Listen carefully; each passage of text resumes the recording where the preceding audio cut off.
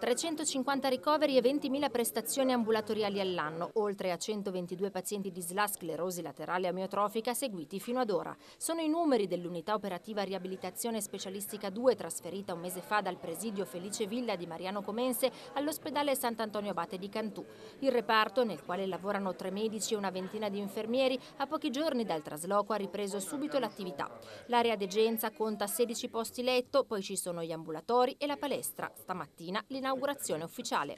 Nel nostro ambulatorio girano circa 9.000 pazienti, diciamo che sono pazienti provenienti da tutta la provincia di Como, dalle province vicine, dal lago, dall'Alto Lago e anche dalla Svizzera. Siamo un punto di riferimento per i pazienti con sclerosi laterale miotrofica, abbiamo visto fino adesso 122 malati. Nell'unità operativa vengono ricoverati pazienti per riabilitazione cardiorespiratoria provenienti da casa o da reparti ospedalieri quali rianimazioni o cardiochirurgie. Gli spazi più ampi, la presenza nel presidio di specialità quali la rianimazione, la radiologia, la cardiologia e la medicina rendono la nuova collocazione più adatta per il ricovero di pazienti con patologie complesse, con problematiche respiratorie o quelli affetti da sclerosi laterale amiotrofica per cui la struttura è un centro di riferimento.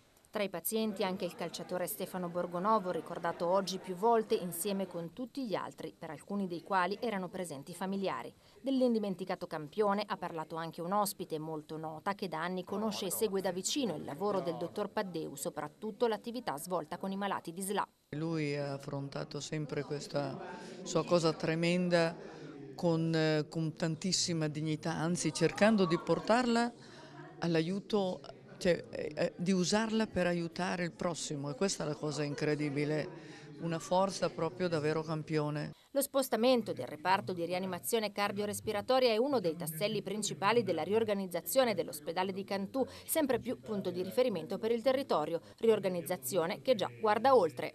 Mi piacerebbe poter trasportare qui eh, la dialisi che, che, abbiamo a Longone a Segrino Mm, perché ci siamo messi d'accordo, ne abbiamo parlato con i rappresentanti dei dializzati e anche loro sarebbero felici di poter eh, fare questa, questo spostamento. È un obiettivo che abbiamo molto ben presente e cercheremo di portarlo avanti.